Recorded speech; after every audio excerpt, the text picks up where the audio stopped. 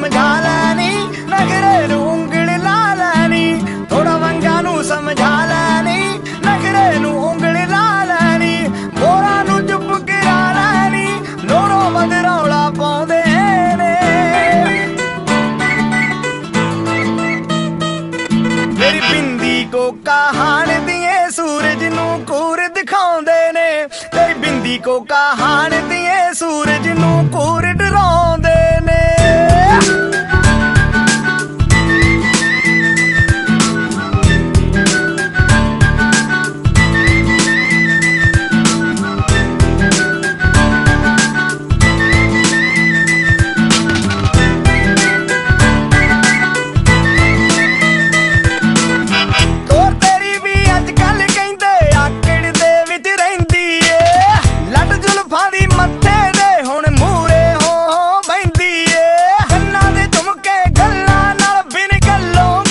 不懂。